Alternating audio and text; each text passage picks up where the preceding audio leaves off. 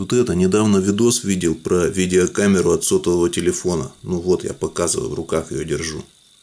Там один чудак утверждает, что эта видеокамера – это микросхема памяти.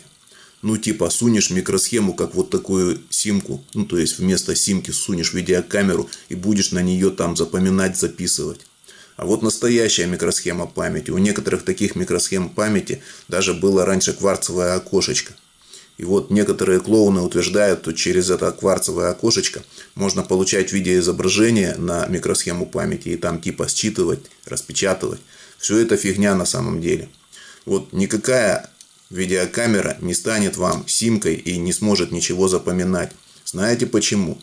Потому что несмотря на то, что в ней есть матрица транзисторов, это матрица фототранзисторов.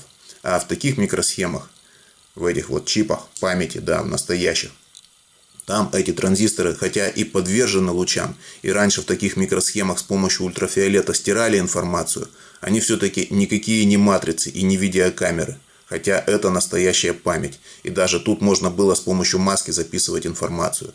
В такую вот микросхему оптическим способом информацию не запишешь.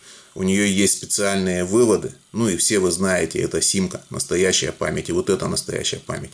А эта матрица фоточувствительных элементов, она похожа на обыкновенный вот такой вот светодиод. В нем тоже есть транзисторы.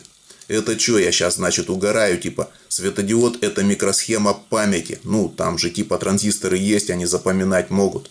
Я думаю, следующим вариантом этого клоуна будет объявление, ну, если он объявил видеокамеру микросхемой памяти, то он еще объявит микросхемой памяти экран сотового телефона или вашего телевизора. В общем, ржу не могу.